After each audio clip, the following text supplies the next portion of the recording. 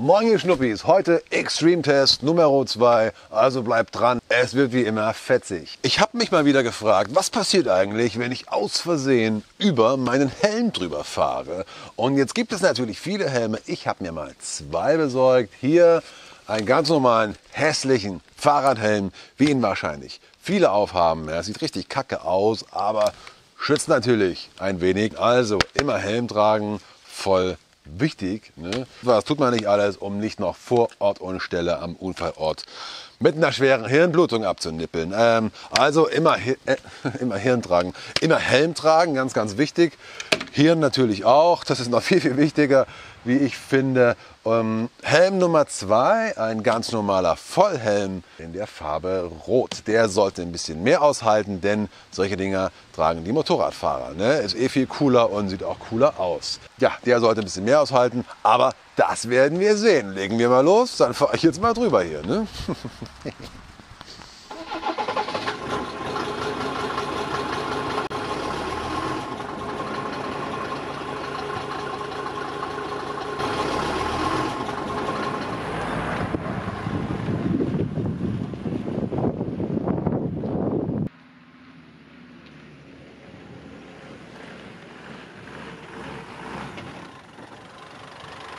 Ja, fangen wir an mit diesem Kollegen hier und er ahnt es schon mit so einem Helm.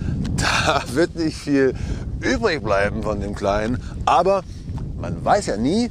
Ich wünsche dir alles Gute und tschüss.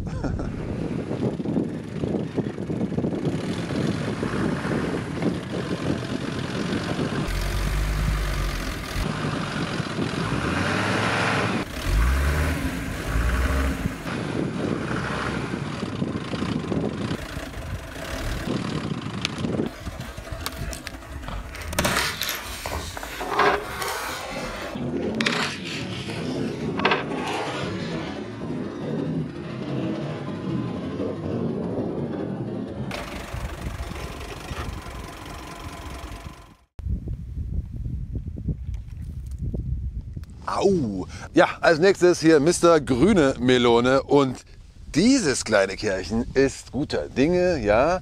Der grinst noch schön fröhlich vor sich her. Das heißt, ne, der glaubt nicht daran, dass ihm da groß was passieren wird hier mit so einem Vollhelm. Und äh, ja, ich hoffe, du hast recht. Ich hoffe, du kannst dir dein wunderschönes Lächeln bewahren und äh, viel Glück. Chaka.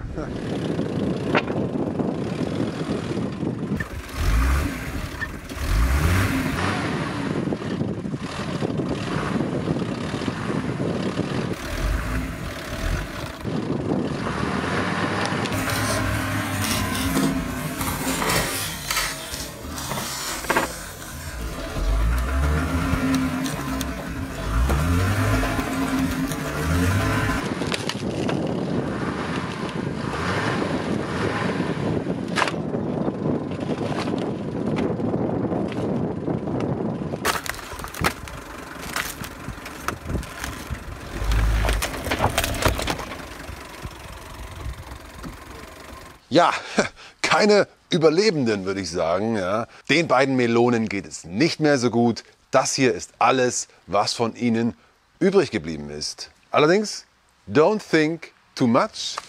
Den beiden geht es jetzt garantiert viel, viel besser. Sie befinden sich nämlich jetzt im Melonenhimmel oder werden gerade als Banane wiedergeboren, je nachdem, an was sie geglaubt haben, kurz bevor sie mich trafen. Ich hoffe, das Video hat euch gefallen.